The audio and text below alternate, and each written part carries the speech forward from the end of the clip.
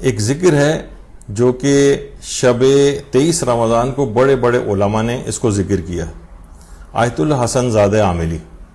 यानी शब तेईस रमज़ान के अमाल में ख़ास तौर पर एक ज़िक्र है कि जिसको अगर एक मखसूस तादाद में जो भी आगे चलकर ज़िक्र होने वाली है, और बहुत मुख्तर सा ज़िक्र है, एक आधी लाइन का ज़िक्र है बस।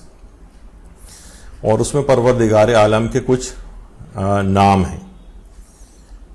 तो फरमाते हैं आयतुल्ला हसन ज़ाद आमली, उनकी किताब हज़ार व यक नुक्ता।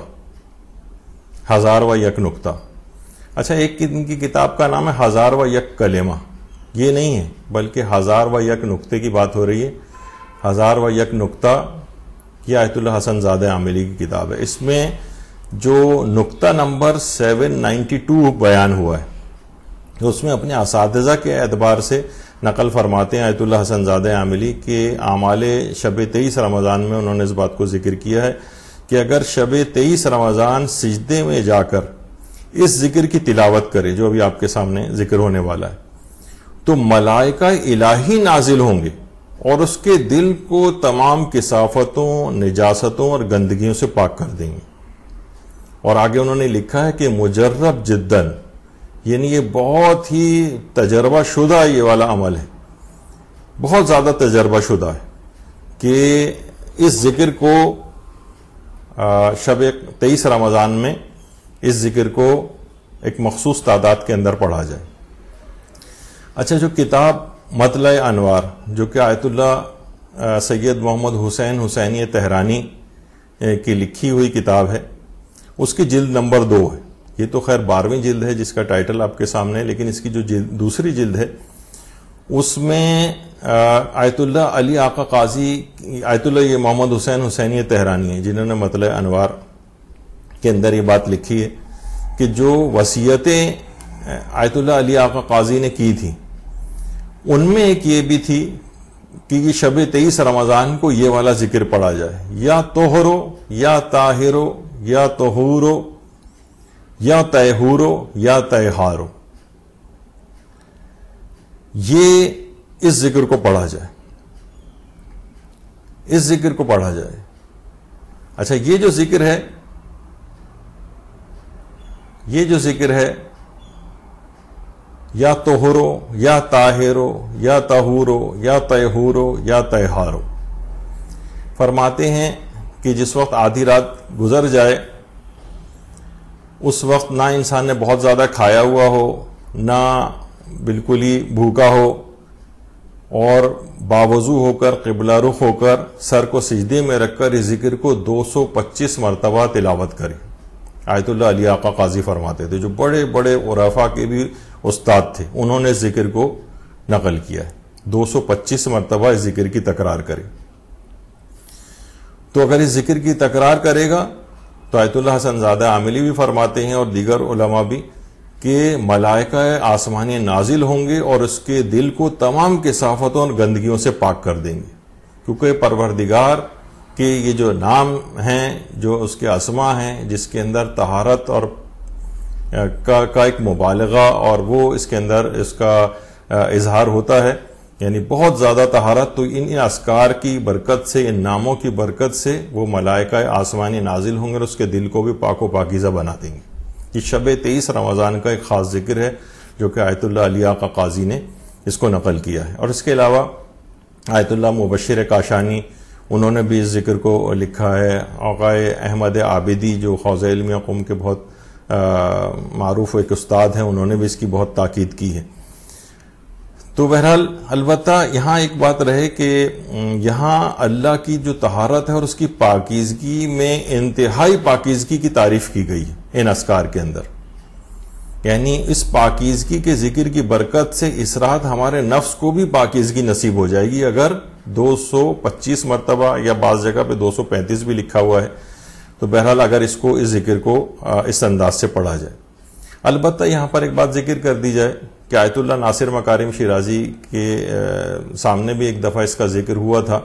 तो उन्होंने फरमाया कि तहूर और त्यौहार के मुतालिक कहा उन्होंने कि ये मैंने अरबी लगतें वगैरह देखी, मुझे इसमें कहीं नज़र नहीं आया। ये हरूफ जो है ये जो नाम है, ये मोहमिल हैं और इस पर एक एतराज़ उन्होंने किया। तो बहुत से लोग इस तरह से भी पेश करते हैं और बहरहाल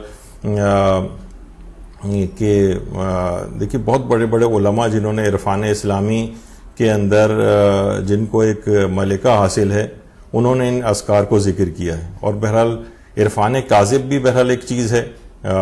सूफिया का जो इरफान है, वो इरफान काजिब कहलाता है, लेकिन हमारे जो औरफा हैं, जो इस इरफान इस्लामी है, उसके अंदर ये सब चीज़ें और इसके, इस ज़िक्र के अंदर कोई खिलाफ इस्लाम बात भी नहीं, कि हम कहें कि नहीं, ये इसको नहीं पढ़ना चाहिए, क्योंकि इसके अंदर कोई खिलाफ इस्लाम बात चीज़ नज़र आ रही है। जबकि इतने बड़े बड़े उलमा Ayatollah Hasan Zadeh Amoli Ayatollah Ali Aqa Qazi वगैरह जो है इस ज़िक्र की काफ़ी ज़्यादा ताकीद करते हैं। यानी जो इन ज़िक्र असकार की फ़ील्ड के जो माहरीन हैं, वो इसकी बहुत ज़्यादा ताकीद करते हैं। और फिर उलमा, ये जो बहरहाल ये बात कही इलमी एतराज़ जो एक होता है बहरहाल तो उसके इलमी जवाब भी उलमा की तरफ़ से दिए गए हैं कि ये भी मुहमिल कोई लफ्ज़ नहीं है। बल्कि तहारत में मुबालग और कसरत के लिए इस्तेमाल हुआ है। तहूर, बरवज़न फ़्याल औज़ान मुबालगा में से। तो बहरहाल Ayatollah Sayyid Mohammad Hussain Husaini Tehrani. इन्होंने जो आयतुल्ला मेहदी बहरुलूम से जो मंसूब रिसाला है, सैर सलूक, उसकी जो एक दुआ है, उसकी एक फुट नोट में उन्होंने लिखा है कि जैसे कि, जैसे इसमें त्योहार और तहूर का लफ्ज आया है तो उन्होंने कहा कि इसी तरह से एक चीज़ है देहार और देहूर। तो देहार और देहूर, ये जो है, ये मुबालगा है। मुबालगा है। यानी देहू, देहार और देहूर, ये भी आया है इसके अंदर। यानी मुख्तलिफ़ असकार जो बयान होते हैं तो ये मुबालगा दहर है। और दहर से मुराद जो है, वो अल्लाह है। रिवायत में भी ज़िक्र इस बात का आया कि ला तसबुद्दहर फ़ाइन दहरा हो अल्लाह। तो यानी दहर को, ज़माने को बुरा ना कहो, क्योंकि बहरहाल जो, वो अल्लाह है। तो ये भी दहर का लफ्ज देहार और देहूर, इसी तरीके से यहाँ पर त्यहार और तहूर है। यानी मुबालगा, दर तहारत है। तो बहरहाल ये ज़ाहिर है कि एक अलग रूहानियत की एक फ़ील्ड है और जो इस लिहाज से जो असकार हैं, ये इन्हीं बड़े रूहानी ओलमा ने जो है वो बताए हैं। देखिए शेख जाफ़र आल काशिफ़ुलगता के कितने बड़े और अजीम फ़कीर थे। लेकिन सैयद महदी बहरुलूम जो इसी तरह की रूहानियत के बहुत ज़्यादा माहिर थे तो उनके जूतों की गर्द को अपने अमामे के तहतुल हनक से साफ़ करते थे यानी शेख जाफ़र आल काशिफुलगता जैसा फ़कीह वो सैयद मेहदी बहरूम के जूते की जो गर्द है अपने अमामे के तहतुल हनक से साफ़ करते थे तो बहरहाल यानी ये मकाम हैं उलमा के।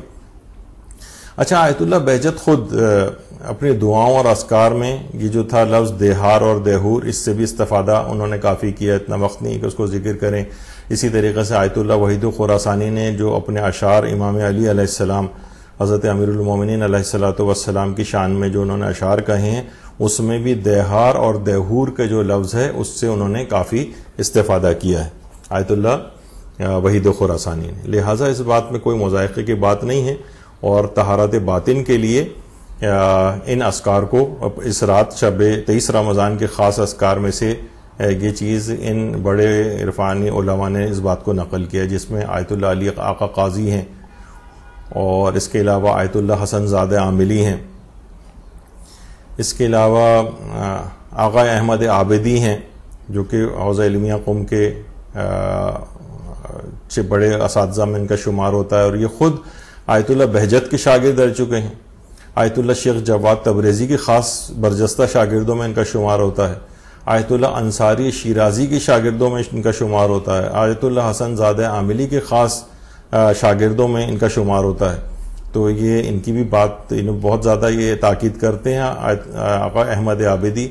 इसके अलावा आयतुल्ला जो मुबशर काशानी इनका कौम के अंदर दर से खारिज भी होता है और ये ख़ुद आयतुल्ला सैयद अब्दुल करीम कश्मीरी के शागिर्द हैं। ये इस ज़िक्र की बहुत तारीफ़ तायद ताकीद करते हैं। और ये ख़ुद आयतुल्ला अब्दुल करीम कश्मीरी के भी शागिर्द रह चुके हैं और आयतुल्ला रज़ा बाहुद्दीनी के भी शागिर्द रह चुके हैं।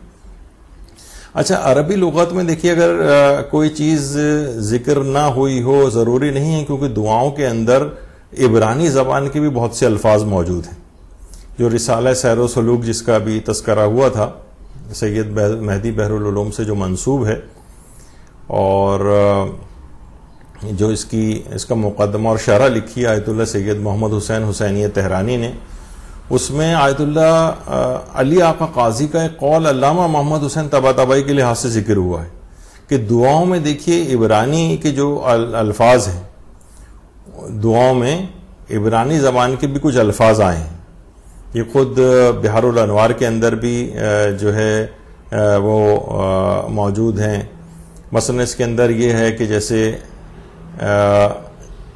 एहिया, शेराहिया, और ये अरबी जबान के लफ्ज नहीं। अच्छा जब ये इबरानी जबान के, ये इबरानी कलमात हैं। और इसका जो अरबी के अंदर ट्रांसलेशन बनता है, वो कुछ उलमा कहते हैं, या हन्नानो, या मन्नानो बनता है इसके मायने, या कुछ कहते हैं, या हयो या कयूम बनता है। यानी रिवायात के अंदर जो मुख्तलिफ़ दुआएँ आई हैं, उनमें इबरानी के अल्फाज भी आए हैं। और बहरहाल तो ये जो है दुआ कि इसके अंदर जब इंसान सजदी की हालत में जाकर इसको पढ़ता है 225 दफ़ा या 235 दफ़ा इस दुआ को अगर पढ़ेगा तो मलाइका आसमानी नाजिल होंगे और उसको तहारत बातनी, यानी उसके अंदर पाकिजगी नफ्स जो है, वो उसको अता फरमाएँगे। और ये जो अभी आपने सुना था कि एहया शरा, हया ये आसिफ इबन ये रिवायत में चीज़ मिलती कि आसिफ इबन बरखिया ने जो तख्त बिल्किस जो लेकर आए थे, और उनके पास इसमें आज़म का जो इल्म था, उसमें ये वाले कलेमात भी शामिल थे। तो बहरहाल इस ज़िक्र को 235 दफ़ा या 225 दफ़ा पढ़ना, ये तहारत कलबी के लिए बहुत मुफीद है, और मलाइका आसमानी नाजिल होंगे, और उसके दिल को तकवा परहेजगारी के साथ जो है वो आरास्ता करेंगे।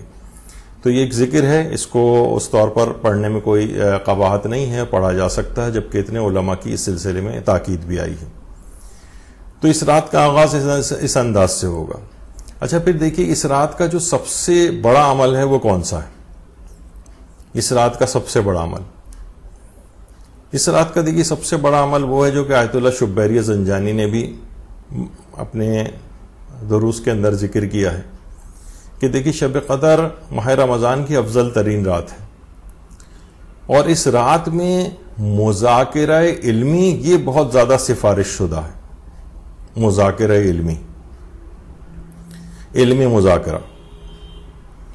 और इल्मी मुजाकरे का यातुल्ला शुबैरी जंजानी इनका दर से खारिज हो रहा है। फरमाते हैं कि मुजाकर इल्मी का एक मजदाक मसाइल शरिया का याद करना है।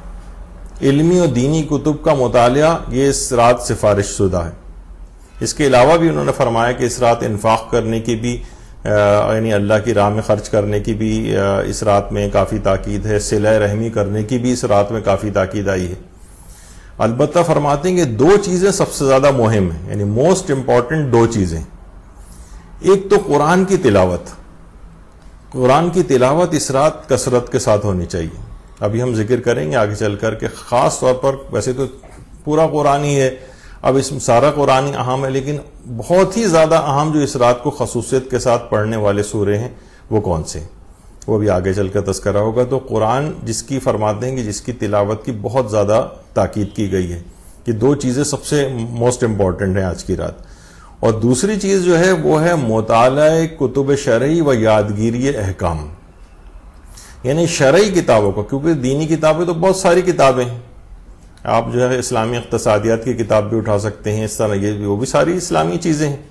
लेकिन फरमाते हैं कि कुतुब शरई, यानी जिसके अंदर शरई अहकाम हो, यानी उनका मुताला किया जाए और वह यादगिरी अहकाम अहकाम को याद करना, यानी इस तरह से उसको पढ़ना कि वो आपको याद हो जाए। ये ख़ास उल ख़ास आज की रात का जो बहुत ही अहम तरीन अमल है। मदरसे की पूरी कोशिश होती है कि इस रात कम से कम पचास सौ फ़िकी मसाइल वगैरह का एक बंच बना के उसको हम, उसके ऊपर शेयर कर देते हैं, ताकि लोग इस रात को कम से कम इन मसाइल को पढ़ें और दूसरों को भी इसको फॉरवर्ड करें। अच्छा इसी लिहाज से शेख सदूक के मुतालिक ये बात कही जाती। ये शेख सदूक की खबर मुबारक है। शेख सदूक अपने उस्ताद के हवाले से बयान करते हैं मफातिल जनान में भी ये बात आई है। कि वो फरमाते थे कि जो शख्स भी इक्कीसवीं और तेईसवीं रमज़ान की रातों को मसाइल दीनी बयान करते हुए गुजारे तो वो सब लोगों से अफजल है। इस रात का जो सबसे अफजल अमल करेगा, यानी इक्कीसवीं और तेईसवीं रातों को मसाइल दीनी बयान करते हुए गुजारे। एक दूसरे को आप कम से कम ऑथेंटिक जो ज़राए से आपके पास मसाइल शरिया आए हों, वो एक दूसरे को फॉरवर्ड करें। किसी जगह एक घर में ही बैठकर कुछ लोगों को कुछ मसाइल दीनी, तोज़ील मसाइल से पढ़कर या इन पोस्ट वगैरह के ज़रिए पढ़कर लोगों को अगर बताएँ थोड़ा सा वक्त इसके अंदर लगाएँ, कम से कम एक घंटा इसके अंदर अगर लगाएँ तो ये सबसे अफजल तरीन है और ये तमाम लोगों में शेख सदूक अपने इस के हवाले से बयान फरमाते हैं कि ये तमाम लोगों में सबसे ज़्यादा अफजल हो जाएगा। यानी खुद भी दीनी मसाइल सीख रहा है और दूसरों को भी ये मसाइल सिखा रहा है। तो बहरहाल देखिए कि ये जो तोज़ील मसाइल वगैरह पढ़ना है आम तौर पर लोगों को बहुत खुश्क और उस तरह की चीज़ लगती है। बहरहाल इसके अंदर भी एक पैगाम है, यानी इतने अहम चीज़ है इन अहकाम शरीयत के इतनी अहम तरीन रात को। देखिए पूरा साल पड़ा है। आज की रात तो कहा जाना चाहिए था, भाई मसाइल वसाइल और ये इल्म हासिल करने के लिए तो पूरा साल पड़ा है तो फ़कत ये आज की रात तो दुआओं में, सिर्फ़ मनाजात में, सिर्फ़ नमाजों में लगानी चाहिए थी। सबसे ज़्यादा अफजल अमल फिर इल्म, ये मसाइल शरिया का हासिल करना करार दिया गया उसके बावजूद। ताकि इसमें एक ये भी है कि ये, क्योंकि पूरे साल का आगाज़ आपकी ज़िंदगी का इस इस रात से हो रहा है तो लिहाजा इसके अंदर एक पैगाम ये भी है कि इस बात को जो इसमें आपको प्रैक्टिस कराई जा रही है मसाइल शरीयत को याद करने की, ये सिलसिला फिर पूरे साल चलना चाहिए। तो बहरहाल ये तमाम चीज़ें ऐसी हैं कि जिसकी बहुत अहमियत है। लोग आमतौर पर दीगर चीज़ों के अंदर बहुत ज़्यादा मसरूफ़ हो जाते हैं और ये सबसे अहम और अफजल तरीन अमल जो है इस रात का उसको फरामोश कर देते हैं। इसकी तरफ़ होनी चाहिए तवज्जो। यही वजह है कि आयतुल्ला जवादी आमिली। आयतुल्ला जवादी आमिली फरमाते हैं कि इस दुनिया में कोई भी चीज़ इल्म दीन के हसूल से बरतर नहीं है। बाज़ अवत कह दिया जाता है कि भाई देखिए, ये और भी चीज़ें हैं फिज़िक्स, केमिस्ट्री, ये भी कौन सा गैर दीनी चीज़ है, वो ठीक है, इस पर हमारी इन तमाम चीज़ों की अहमियत से किसी को इनकार नहीं है।